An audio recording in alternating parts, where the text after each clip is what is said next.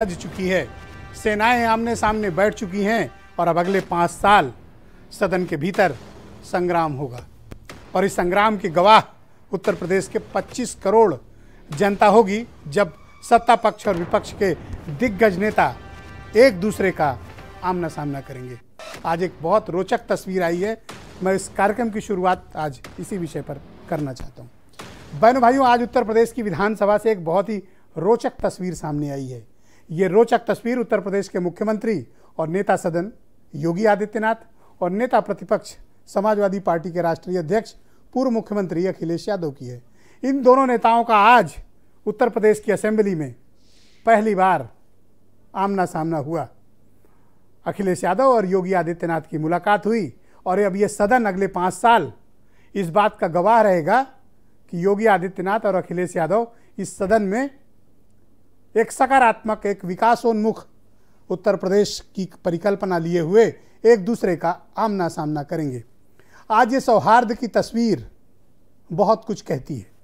मैं इसे सौहार्द की तस्वीर इसलिए कहता हूँ कि राजनीति का उद्देश्य सिर्फ़ सत्ता पाना ही नहीं होना चाहिए, बल्कि राज्य की जनता का विकास, गरीबों का कल्याण, ज़रूरतमंदों की मदद, प्रदेश की बेहतर आर्थिक व्यवस्था अच्छा स्वास्थ्य सबको शिक्षा, बेरोजगारों को काम, लोगों को काम धंधा।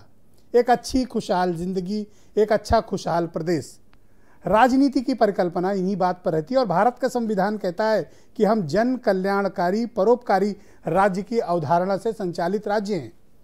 तो ऐसे में सत्ता पक्ष और विपक्ष दोनों की ज़िम्मेदारी होती है कि वो एक साथ लोकतांत्रिक प्रक्रिया को प्रदेश के विकास के लिए आगे बढ़ाएँ। इसलिए मैं इसको सौहार्द की तस्वीर कहता हूँ, क्योंकि चुनाव के दौरान जो कटुता, जो एक दूसरे पर निजी या राजनीतिक हमले, सामाजिक हमले जो कुछ होते हैं, उसके बाद जो परिणाम निकल कर सामने आता है, और जनता जिसको जो ज़िम्मेदारी देती है, किसी को सत्ता देती है तो किसी को सत्ता की पर नज़र रखने के लिए विपक्ष की भूमिका देती है।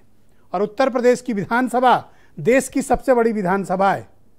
अगर योगी आदित्यनाथ को नेता सदन और मुख्यमंत्री का पद जनता ने दिया है तो अखिलेश यादव को सत्ता पर निगरानी करने के लिए 125 विधायक दिए हैं और नेता प्रतिपक्ष का काम दिया है।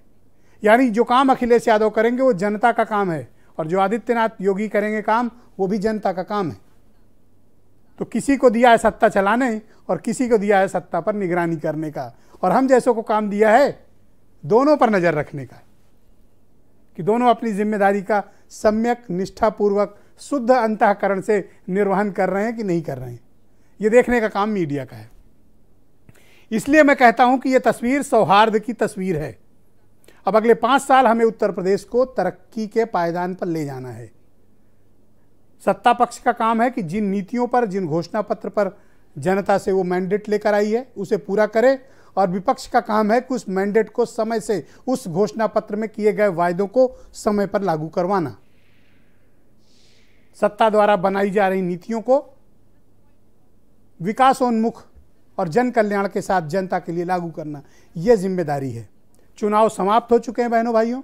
अब अगला पाँच साल हमें उत्तर प्रदेश की तरक्की, उत्तर प्रदेश आगे कैसे बढ़े, उत्तर प्रदेश की गरीब जनता को मदद कैसे हो बच्चों को रोज़गार कैसे मिले, उनको नौकरियाँ कैसे मिले?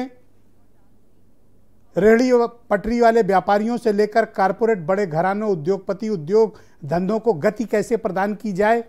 इस प्रदेश की अर्थव्यवस्था, शिक्षा की व्यवस्था, स्वास्थ्य की व्यवस्था, महिला कल्याण, सुरक्षा और कानून व्यवस्था को कैसे बेहतर किया जाए, ये सबका सामूहिक कर्तव्य है।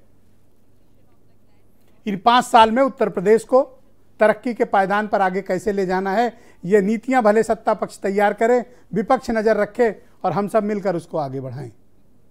एक सकारात्मक माहौल उत्तर प्रदेश में, उत्तर प्रदेश की तरक्की के लिए बहुत ज़रूरी है और इसमें सबका पुनीत कर्तव्य होना चाहिए, क्योंकि जनादेश आ गया है और बहनों भाइयों जनादेश का सम्मान होना चाहिए। जनता किसे सत्ता देती है, किसे विपक्ष की भूमिका देती है, सब कुछ स्पष्ट है। तो अब सबको चुनावी बातें भुलाकर उत्तर प्रदेश की तरक्की में अपने अपने पक्ष का योगदान देने की आवश्यकता है। कुछ बयान सुने आप, फिर आज की परिचर्चा बहुत दिलचस्प है। हम इसे आगे बढ़ाते हैं।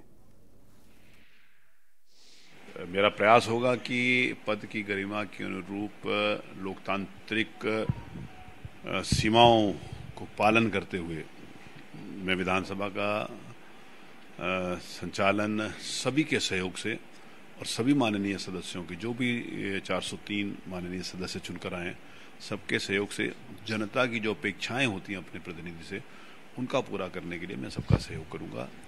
केवल बेंच बदल गई है। मैं अभी पक्ष में बैठता था, विपक्ष में बैठूँगा। सरकार की अकाउंटेबिलिटी के लिए विपक्ष काम करेगा और जो विपक्ष की भूमिका है सकारात्मक विपक्ष की भूमिका होगी। नेतृत्व ने मुझे ये ज़िम्मेदारी दी है। मैं उनका आभार व्यक्त करती हूँ पार्टी का अपने अध्यक्ष आदरणीय सोनिया जी का आदरणीय प्रियंका गांधी जी का और पूरा विश्वास दिलाती हूँ कि जो मुद्दे जनता से संबंधित होंगे उत्तर प्रदेश की जनता की जो आवाज़ है उसको मैं विधानसभा में पूरी ताकत से उठाऊँगा। चलने दीजिए। आपको ये महसूस होगा कि ये एक एक विधायक ही पूरे विपक्ष की भूमिका अदा करेगा।